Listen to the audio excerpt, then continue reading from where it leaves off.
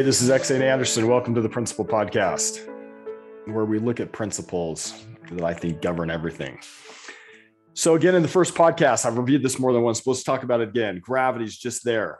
Gravity can either make me very wealthy or gravity could injure me. How could gravity make me wealthy? Well, I could build a skydiving company. I could build a, a ski resort. I could build a, a, hydroelectric dam. All of these use gravity to uh, benefit the owners.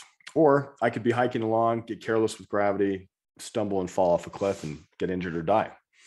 Gravity's just there. The only thing that changes is do I align with it or do I do I ignore it?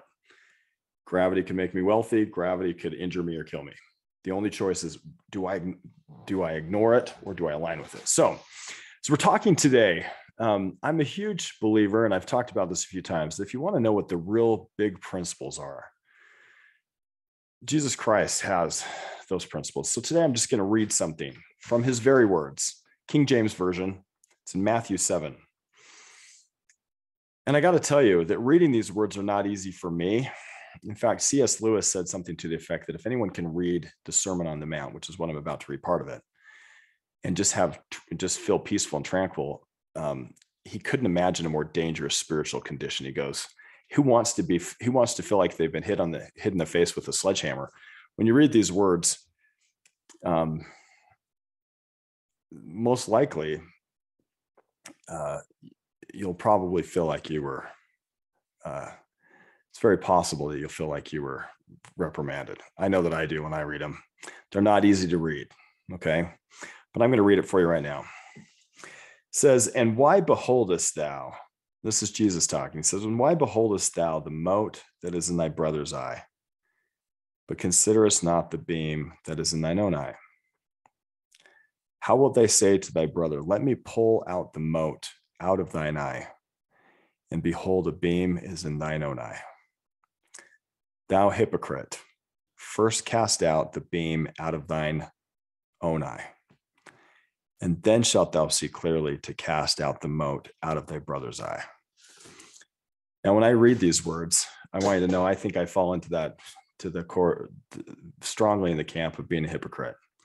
Plenty of things that I do that are that are not in accordance with Christ's words. But I think there's a principle here that we could look at. Uh, the principle is to start with you.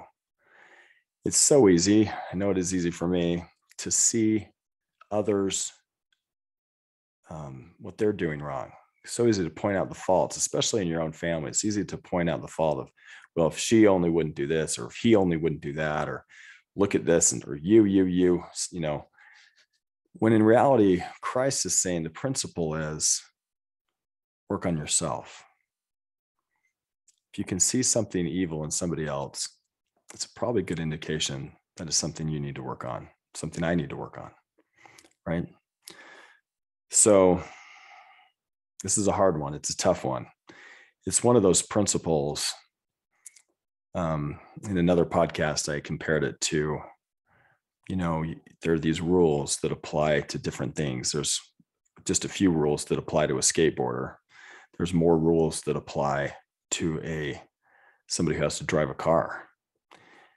Um, you've got to stop at stop signs. You've got to keep the speed limit. You've got to yield. You've got to obey different traffic signs and rules. But your ability to have freedom to go much further exists. So you might have less rules with a skateboarder, but you have more ability to do awesome things in a car. Well, you take it a step further, and you may, you know, you want to fly an airplane, there's even more rules. You've got air traffic control and how far, how high can you fly, and you've got to do very very strict checks on the aircraft to make sure you can fly it. And there's very very strict rules when flying aircraft.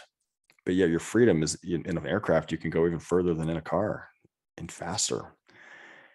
In a spaceship, there's probably even more rules. I mean, if you try to get in a spaceship and you don't get the trajectory right, you could you could fall out into outer space and drift away forever.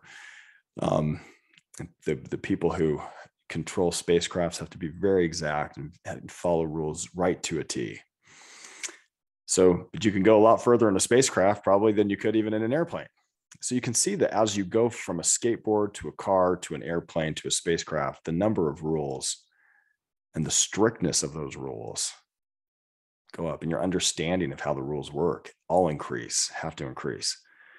When I read this passage from, um, and by the way, giving tribute to my dad who originally came up with this concept, my dear dad, and my this the same um, same concept was echoed in a book that was written by my sister Shalissa Lindsay. Just want to give them credit. Um, but when I read the Sermon on the Mount, there are these rules that are just hard. You mean, I've got to work on myself first. That's hard. But if you can think about it in the same light as the difference between a skateboard to a car, a car to an airplane, an airplane, when we keep the, the strict hard rules, it's almost like we move up one notch on our ability to influence and help others and ourselves. So I hope one day I'll be great at this one, and I'm not, but I want you to think about it. Here's a rule, a principle, a high principle given by someone who lives the principles perfectly, Jesus Christ. Think about that. This is EksAyn Anderson. Thanks for joining the Principle Podcast.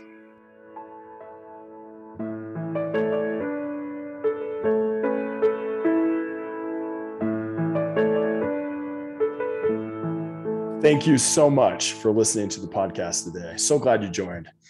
I am on a mission to help as many marriages and families and parents learn the principles and techniques that are going to help their marriages be better. And one thing I know about you, there are so many of you listening right now that have tips, that have techniques, that if you would just share them with the community, it could help. So please share them with the rest of us, share them with me. We'd love to hear them. Like, comment, subscribe, rate, review let's do everything we can to help as many marriages as possible. You know, I'm a huge believer that a wise man, Neal A. Maxwell, said, if we don't fix marriages and families, everything else we do will be like straightening deck chairs on the Titanic. I'm sure I didn't quote that right, but it was something to that effect. Let's go to the root of the problem and help marriages and families. Feel free to follow me on, on social media. Most importantly, learn to follow Jesus Christ, who is the principal giver and let's share as much as we can with each other to make this a great community where we can help people. Thanks again for joining.